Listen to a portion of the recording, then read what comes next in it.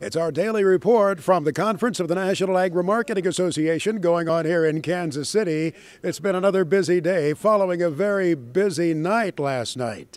The Best of NAMA award ceremony was held, and we recognize some outstanding work from NAMA members all over the country. It culminated in those Best of Show awards. Let me share with you those winners. The Best of Show in the specialty category, Cargill Animal Nutrition, and Padilla the Best of Show consumer category, Winfield United and Colle McVoy for their entry.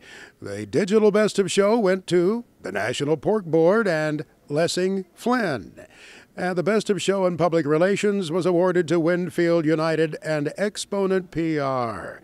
Finally, in the Best of Show for Advertising, that award went to Arm and Hammer and Charleston Orwig Incorporated. So, from those five categories, they selected the Grand Champion Award, and that was presented this year to Winfield United and Colle McVoy. This conference is put together through the leadership of the conference committee. Jenna Esch has chaired that committee over the past year, and she shared with us what they were thinking about as they assembled the program for the 2018 conference. So this year, being back in Kansas City, we really wanted to reinvigorate the conference um, and bring some energy. So that's why we have the theme Power Up, and we have some fabulous speakers who bring some energy and power to not only their presence on stage, but their takeaway message for all of our members.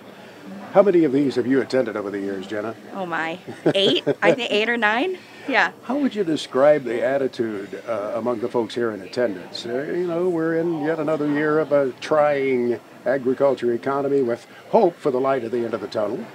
Yeah, the industry is absolutely going through some changes, but I think this is the week where we can feel the industry coming together and whatever brands or companies that we represent outside of being in Kansas City we really do come together as an industry and look forward to you know really driving forward and working through the hard times and it's all of us coming together that gets us through it and better. Jenna said the idea with that theme, Power Up, is to indeed help bring, as she put it, a jolt to the industry going forward. One of the speakers on the program hoping to do that was Carey Lohrenz. She was the first female F 14 Tomcat fighter pilot in the U.S. Navy. She visited with us a little bit about the message she wanted to leave with the NAMA members. Well, I'm so excited to be here. And one of the big things I hope that people really are able to take on board is that this is a marketplace that's changing so quickly. And in that, that breeds a lot of uncertainty. And when there's uncertainty, there's going to be an element of fear, no matter how long you've been in this industry or even how new you are to this. So it's having that ability to understand that you are going to be uncomfortable and that's okay. Uh, and to feel that fear and start taking action in spite of that fear when you do that, once you take action, then it gives you the ability to really course correct and figure out what's working and what's not working. Members of NAMA very much enjoyed the message that Carey presented here at the conference in Kansas City.